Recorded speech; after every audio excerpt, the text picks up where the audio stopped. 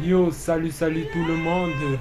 On va voir aujourd'hui comment couper un audio sur FL Studio. Peut-être vous avez envie de prendre tout juste un petit bout d'une chanson sur FL Studio. C'est très très pratique, c'est facile même. Ok, on se fait ça là maintenant. Ok, je vais chercher un bout de chanson euh, au bureau.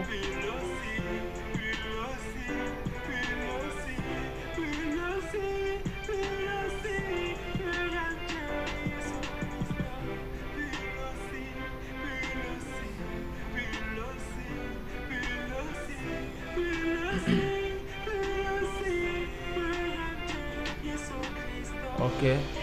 Là, c'est bon, il y, y a une chanson. Après la fête, c'est la défaite.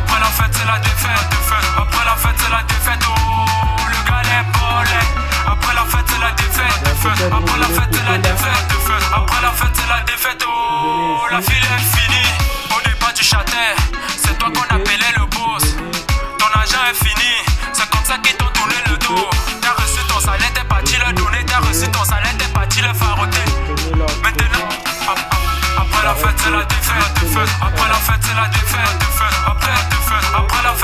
c'est. Ok, c'est tout pour cette vidéo. On se dit à très bientôt pour une autre petite astuce du FS Studio. Si tu es nouveau sur la chaîne, abonne-toi, like, partage. Et on se dit à très bientôt.